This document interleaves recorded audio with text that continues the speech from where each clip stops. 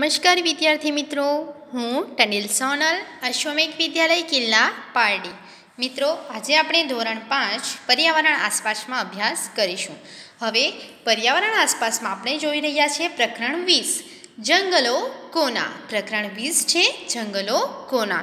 એમાં આપણે સૂર્યમણી, જે સ્ટાર ગર્લ કહેવાય છે, એના વિશે આપણે જોયું કે સૂર્યમણીએ તોરંગ નામનું એક કેન્દ્ર ખોલ્યું. બરાબર છે? એના વિશેની આપણે જે ચર્ચા છે એ તમામ કરી. હવે આગળનો ટોપિક જોઈશું. વાંચો અને કહો, ઓડિશાની ધોરણ દસની છોકરી શિખ્યાએ મુખ્યમંત્રીને પત્ર લખ્યો. આ પત્રનો ભાગ વાંચો કે ઓડિશાની ધોરણ દસની છોકરી છે શિખ્યા. એણે મુખ્યમંત્રીને પત્ર લખ્યો છે. જેનો ભાગરૂપે આપણને અહીં આપવામાં આવેલ છે એ આપણે જોઈશું. માનનીય મુખ્યમંત્રી શ્રી અમારા જેવા વનવાસીઓ માટે જંગલ બધું જ છે. અમે એક દિવસ માટે પણ જંગલોથી દૂર રહી શકતા નથી. સરકારે વિકાસના નામ પર ઘણી બધી યોજનાઓ જેવી કે બંધ અને ફેક્ટરીઓ બાંધવી વગેરે ચાલુ કરી છે. જંગલો જે અમારા છે તે અમારી પાસેથી લઈ લેવામાં આવ્યા છે. આ બધી યોજનાઓના કારણે અમને વિચારવાની જરૂરિયાત ઊભી થઈ. કે જંગલોના લોકો ક્યાં જશે અને તેમની આજીવિકાનું શું થશે? જો જંગલો જ નહીં હોય, તો જે લાખો પ્રાણીઓ જંગલોમાં રહે, તેઓ ક્યાં જશે?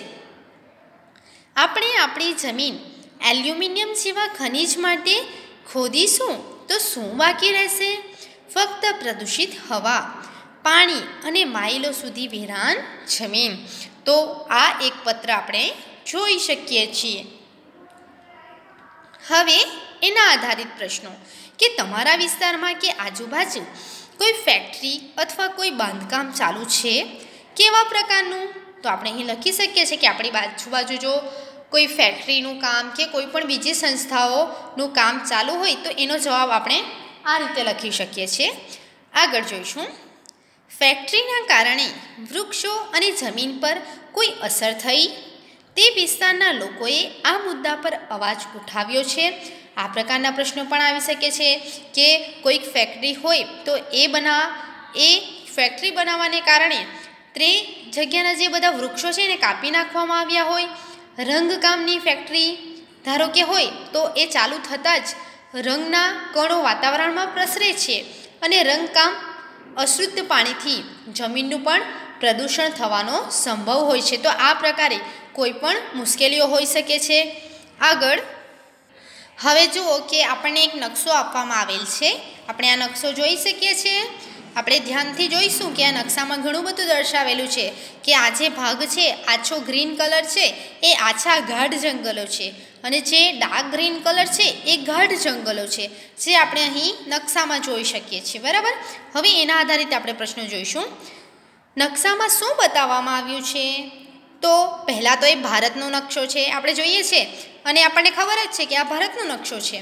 તેમાં ભારતમાં આવેલ ગાઢ જંગલો અને આછા ગાઢ જંગલોના વિસ્તાર બતાવવામાં આવ્યા છે. કારણ કે આપણને અહીં સમજાઈ ગયું.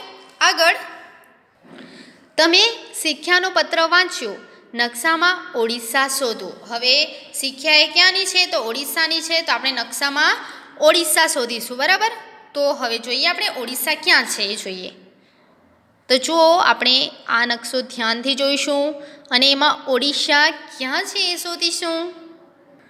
તો મિત્રો, મળ્યું તમને? હા, આ છે ઓડિશા. આપણે જોઈ શકીએ છીએ, આ જે ભાગ છે આખો, આ કયો છે? તો આ ઓડિશા છે કે શીખ્યા ઓડિશાની છે. તો આપણે આ ઓડિશાનો ભાગ શોધી લીધો. ઓડિશાની નજીક દરિયો છે.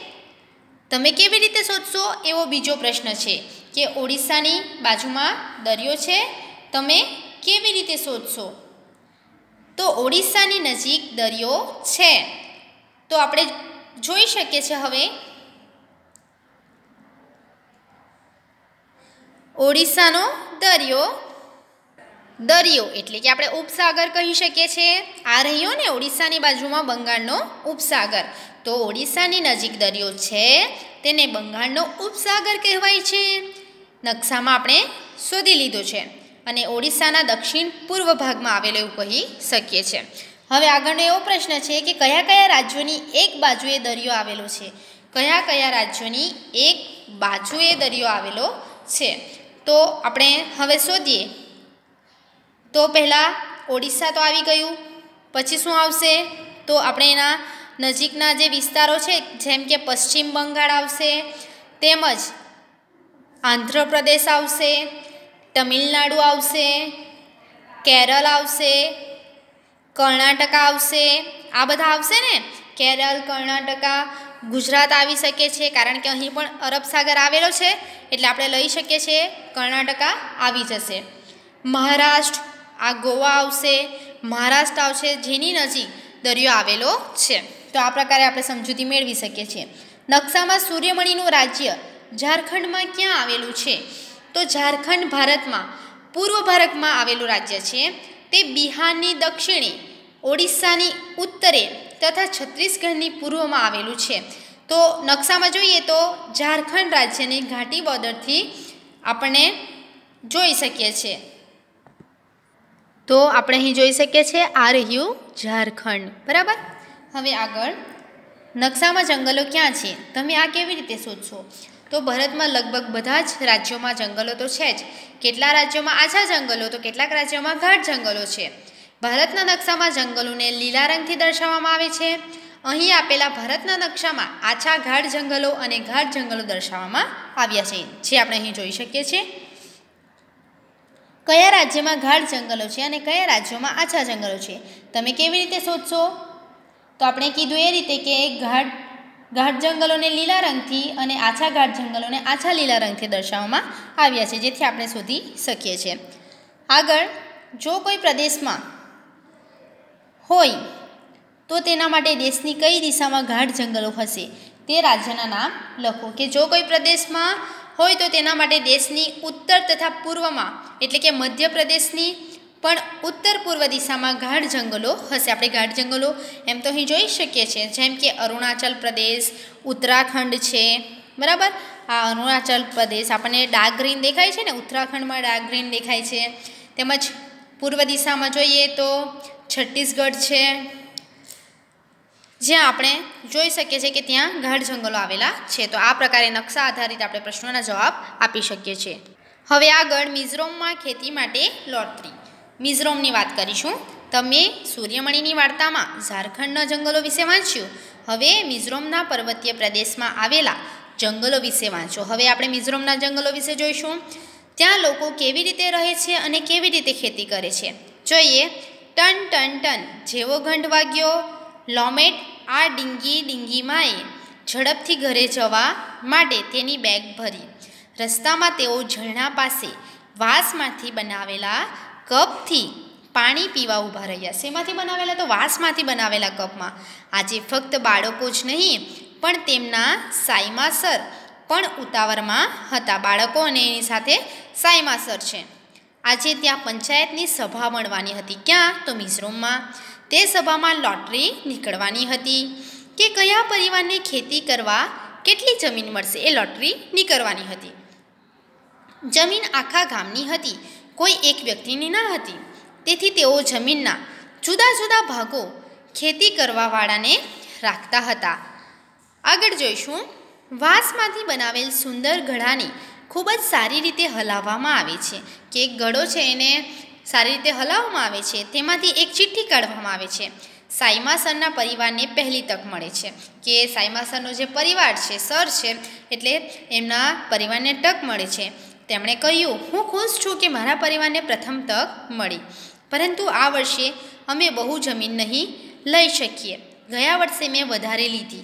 પરંતુ ખેતી સારી થઈ નહીં. એવું કોણ કહે છે? તો સાઈમાસર કહે છે, મારી બહેન ઝીરીના લગ્ન બાદ તે સાસરે જતી રહી. પછી એકલા હાથે ખેતી સંભાળવાનું ખૂબ જ મુશ્કેલ બની ગયું છે. એથી જે સાઈમાસર છે એ જમીન લેતા નથી. આગળ સાઈમાસરે ત્રણ ટીન જમીનનું પૂછ્યું.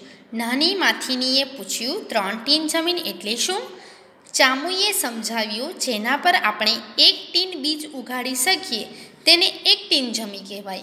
ગામના પરિવારોએ એક પછી એક તેમની જમીન ખેતી માટે મળવા લાગી. તો આ રીતે આપણે કહી શકીએ છીએ કે જમીનની લોટરી. હવે મિઝોરમની આજુબાજુ કયા રાજ્યો આવેલા છે? તો મિઝોરમની આજુબાજુ ત્રિપુરા, મેઘાલય અને મણિપુર રાજ્યો આવેલા છે, જે આપણે નકશામાં પણ જોઈ શકીએ છીએ. કયા કયા? ત્રિપુરા, મેઘાલય અને મણિપુર. ચામુએ કહ્યું, તેઓ ટીન એકમનો ઉપયોગ કરી જમીન માપે છે. જમીન માપવાના બીજા કયા ઉપાયો છે? તો જમીન માપવાના ટીન સિવાયના એકમો ચોરસ મીટર ઓર હેક્ટર, એકર, વીંધો અને ગુંઠો છે. આ આ પ્રશ્નો આપણે ખાસ નોટબુકમાં લખીશું. જે ટીક કર્યા છે એ પ્રશ્નો નોટબુકમાં લખવાના રહેશે. શાળાએથી પાછા ફરતા બાળકો વાસના કપમાં પાણી પીતા હતા. તમારા માટે એ કપ કોણે બનાવ્યો હશે? જંગલમાં મૂક્યો હશે? કેમ? તો જંગલના વનવાસીઓએ વાસના કપ બનાવ્યો હશે અને જતા આવતા લોકોને પાણી પીવા માટે ઉપયોગમાં લઈ શકાય તે માટે ઝરણા પાસે જ મૂક્યો હશે એવું આપણે કહી શકીએ છીએ. જંગલ બચાવવા શું કરી શકાય? આ પ્રશ્નો પણ લખવાના છે. તો એના માટે આપણે ઘણું કહી શકીએ છીએ કે જંગલોનું જતન કરવું, વૃક્ષ છેદન પર કડક નિયંત્રણો મૂકવા અને ગેરકાયદેસર વૃક્ષો કાપતી વ્યક્તિઓને સજા કરવી જોઈએ. જંગલોની જાળવણી અને સંરક્ષણ સ્થાનિક લોકો પાસે અને ગ્રામવાસીઓની સક્રિય ભાગીદારી કરવી.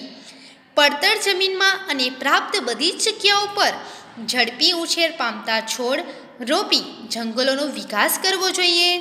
જંગલ ખાતાના કાર્યક્ષેત્રને વિશેષ સ્થાન આપવું જોઈએ. સામાજિક વનીકરણમાં લોકભાગીદારી વધારવી જોઈએ. ત્યારબાદ આપણે કહી શકીએ છીએ કે વૃક્ષારોપણ અને વન મહોત્સવ જેવા કાર્યક્રમને પ્રોત્સાહન આપવું જોઈએ. તો આ ત્રણ પ્રશ્ન નોટબુકમાં લખશો. આગળ, ઝૂમ કૃષિ. હવે આવે છે ઝૂમ કૃષિ. આપણે જોઈશું ઝૂમ કૃષિ. જુઓ, ઝૂમ કૃષિ ખૂબ જ રસપ્રદ છે. એક પાક લીધા પછી જમીન થોડા વર્ષો માટે પાક લીધા વગર રાખવામાં આવે છે કે ઘણા વર્ષો પાક લઈ લીધા હોય ત્યારબાદ એ જમીનમાં પાક લેવામાં આવતો નથી. એમને એમના એમ રાખવામાં આવે છે. ત્યાં કશું ઉગાડવામાં આવતું નથી. વાંસ અને અનિચ્છીય છોડ તે જમીનમાંથી કાઢતા નથી. તેઓને કાપી અને બાળી દેવામાં આવે છે. તેની રાખ જમીનને ફળદ્રુપ બનાવે છે. સળગાવતી વખતે ધ્યાનમાં આવે છે કે આગ જંગલના બીજા ભાગો સુધી પહોંચે નહીં. જ્યારે જમીન ખેતી માટે તૈયાર હોય, તેને થોડી ખોદી લેવામાં આવે છે. કારણ કે એને જે ઘાસને એવું હોય એને બાળી દીધું છે એટલે જ્યારે ખેતી માટે તૈયાર થઈ હોય ત્યારે એને થોડી ખોડી દેવામાં આવે છે. થોડી ખોડવામાં આવે છે, ખેડવામાં નહીં, ખોદવામાં આવે છે. ખેડવામાં નહીં મિત્રો. તેના પર બીજ નાખવામાં આવે છે. એક ખેતરમાં જુદા જુદા પાક જેવા કે મકાઈ, ચોખા, શાકભાજી ઉગાડી શકાય છે. અનિચ્છય છોડ કાઢવામાં અનિચ્છ્ય એટલે જે કામનું નથી, એ છોડ કાઢવામાં આવતા નથી. તેમને ફક્ત કાપવામાં આવે છે. જેથી તેઓ જમીનમાં ભળી જાય. કાપવામાં આવે છે એટલે નીચેનો જે મૂળ હોય એ તો નીચે જ રહી જાય છે ને? એટલા માટે. તે જમીન ફળદ્રુપ બનાવવામાં મદદ કરે છે. જો કોઈ પરિવાર ખેતી કરવા સક્ષમ ન હોય, તો બીજા તેઓને મદદ કરે છે અને તેમણે તેઓને ખાવાનું આપવું પડે છે. તો શું કીધું અહીં કે કોઈ પરિવાર ખેતી કરવા માટે સક્ષમ ના હોય તો કોઈ બીજા લોકો એને મદદ કરે છે, પરંતુ એને શું આપવું પડે છે? ખાવાનું આપવું પડે છે. આગળ, અહીંનો મુખ્ય પાક ચોખા છે. શું છે? ચોખા. તેની કાપણી પછી તેને ઘર લઈ જવું મુશ્કેલી ભર્યું છે. પર્વતીય પ્રદેશ પર રસ્તાઓ હોતા નથી. લોકોએ પાક તેમની પીઠ ઉપર ઉપાડી લઈ જવો પડે છે. તેમાં ઘણા અઠવાડિયા લાગે છે કે લઈ જવું છે પીઠ પર ઉપાડીને. આપણે હાલમાં તો ઘણી ટેકનિકો જોઈ શકીએ છીએ, એના દ્વારા લઈ જવામાં આવે છે. પરંતુ ત્યાં એવું નથી, ત્યાં તો પીઠ પર જ લઈ જવામાં આવે છે એટલે ટાઈમ લાગે છે. જ્યારે કામ પતી જાય છે, ત્યારે આખું ગામ ઉજવણી કરે છે. લોકો ભેગા મળીને રાંધીને જમે છે, ગાય છે અને નૃત્ય કરે છે. તેઓ તેમનું ખાસ ચેરાવ નૃત્ય કરે છે. ત્યાંનું નૃત્ય કયું? યાદ રાખવું? તો ચેરાવ. પાક કયો તો ચોખા. આ નૃત્યમાં લોકો જોડીઓમાં એકબીજાની સાથે જમીન પર વાંસની લાકડીઓ રાખી બેસે છે. જેવું નંગારું વાગે, વાંસની લાકડીઓ જમીન પર પછાડવામાં આવે છે.